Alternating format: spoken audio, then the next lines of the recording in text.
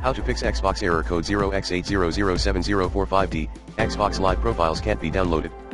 To fix Xbox error code 0x8007045D, Xbox Live profiles can't be downloaded issue, try, 1. Restart internet, like router, and, your gaming device. 2. Check and improve your network and internet connection, if needed. 3.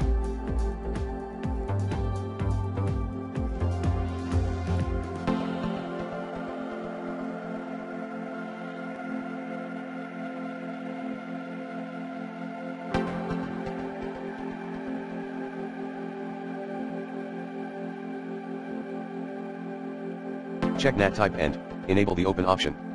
4. Clear current Xbox cache. 5. Check the drive in use, and free up some hard disk space if needed. 6. Check your Xbox account and subscription. 7. Uninstall and reinstall the desired game slash app. 8. Reset your gaming device. 9. Contact Xbox support,